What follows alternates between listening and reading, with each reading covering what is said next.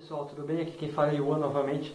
Esse aqui é o segundo vídeo do canal, certo? O primeiro vídeo eu fiz meio que na brincadeira, aconteceu algumas coisas, eu acabei colocando no ar e falei, dane-se, vai pro YouTube. Certo? Dessa vez eu, eu, pela primeira vez, escrevi o que eu ia falar. É, é meio complicado, porque a gente escreve, a gente acaba nem sempre saindo do jeito que a gente quer, porque a gente sempre acaba falando uma coisa a mais, uma coisa a menos, acaba esquecendo alguma coisa, lembrando de outras. Certo? Eu espero que esse vídeo vocês gostem. Valeu, um abraço.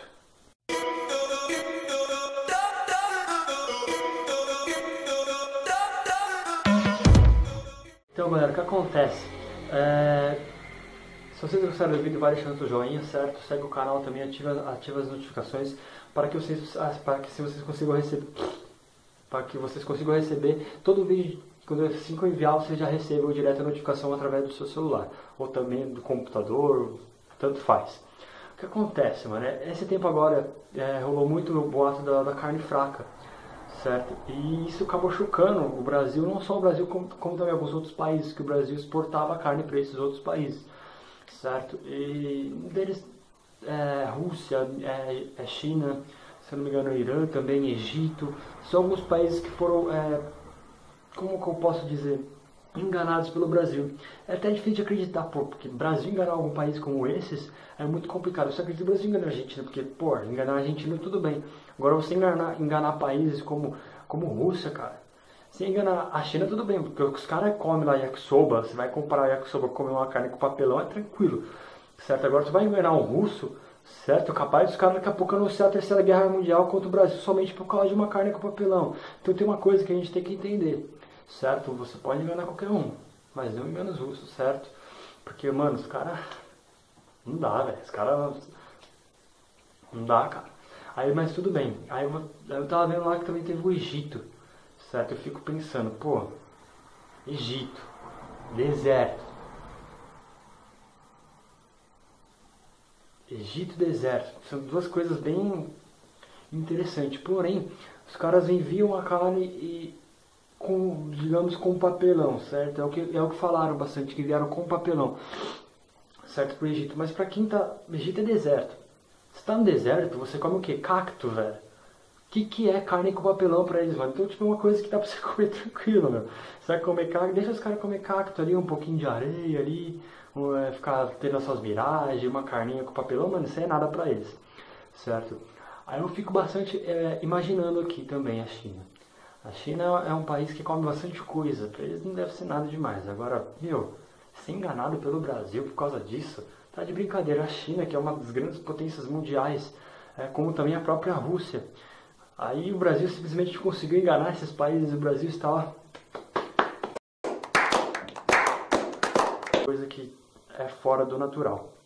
Mas a gente tem que acabar aceitando, certo? Agora a Argentina a gente aceita também, se for enganar a Argentina, tudo bem, porque a gente até quer que engane a Argentina, porque a Argentina Argentina, né?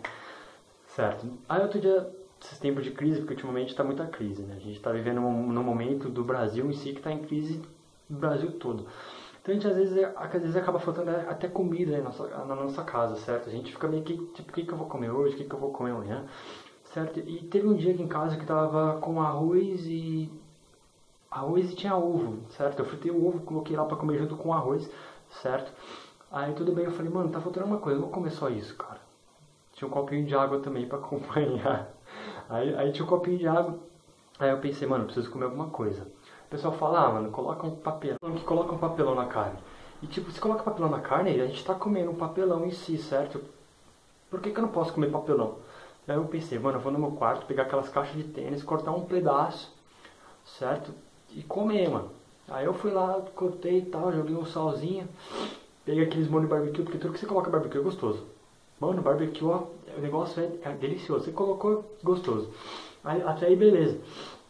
Aí, só que o negócio ficou bom demais, que eu fui comendo a caixa, comendo, comendo, comendo. Resultado, no dia seguinte eu caguei até meu tênis, velho. Só que, mano, é incrível, porque não dá dor de barriga. Você caga normal, o negócio é, é papelão. Você comeu a vida toda a carne achando que era carne normal. Tudo bem que no papelão falta somente a gordurinha, mas você come uma carninha com papelão, mano, tanto faz. Acho que ninguém morreu por causa disso certo? Então, se está tendo oportunidade de comer algo assim, come mesmo, nem liga, véio. vai para cima e dane-se, certo? O negócio é muito bom. Eu fico imaginando, mano, porque os chineses eles comem aqueles negócios meio escroto, como também japonês, aquele pessoal lá é tudo meio estranho, eles comem uns negócios, umas paradas cabulosas, que você fica tipo, nossa, que loucura, e você vai lá come também, então tipo, é normal isso, certo? Eu fico imaginando, eles comeram, comeram a carne com papelão, descobriram que foi feito de papelão também, tinha papelão, os caras falaram, nossa, que tipo de papelão é este? Que canesta? Nossa, tô falando como italiano, como se tivesse alguma coisa a ver. Acho que não tem nada a ver, mas eu não vou falar como chinês porque não tem como, né? Mas aí você fica imaginando os caras tendo esse pensamento, mano, nossa, envia mais papelão, mano, acho que eles vão querer receber mais, mais, mais carne com papelão, porque, mano, você come uma carne de papelão ou com papelão e o negócio é gostoso daquele jeito, aí tu imagina a yakisoba, nossa, eu vou querer um pouquinho de papelão, colocar o papelão no yakisoba para poder vender. Mano, é um negócio super natural para quem já comeu a vida toda carne com papelão certo? Então é um negócio totalmente normal. Bom, galera, essa foi a volta, certo? É, o vídeo foi meio na pegada de, bem leve. Eu vou, estar melhorando, vou pegando notícia da semana agora, vou mudar um pouco do canal, certo? Do primeiro vídeo que eu tive, depois eu fiz uma live jogando Rainbow Six, certo? São coisas bem diferentes, agora eu já mudei também o canal novamente, certo? Mas aí eu vou, o que, que eu vou fazer agora?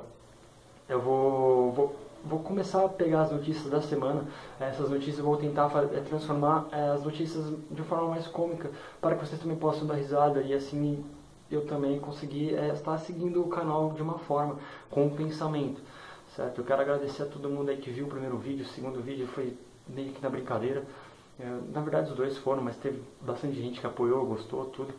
Mas eu peço que vocês deixem um like se vocês gostaram. Se vocês não gostaram, deixem o dislike também, porque é muito importante que vocês sejam críticos positivamente ou negativamente, certo? E se você não se inscreveu no canal, se inscreve aí para poder fortalecer também, certo? E logo eu vou estar lançando mais vídeos para vocês poderem estar acompanhando o canal e ativar também a notificação, certo? Se quiser compartilhar com um amigo, fica a seu critério. Um forte abraço, certo? Esse aqui aconteceu comigo, que logo talvez eu mude o título, talvez não. Mas é isso aí, galera. Muito obrigado a todos vocês. É nóis, valeu, falou!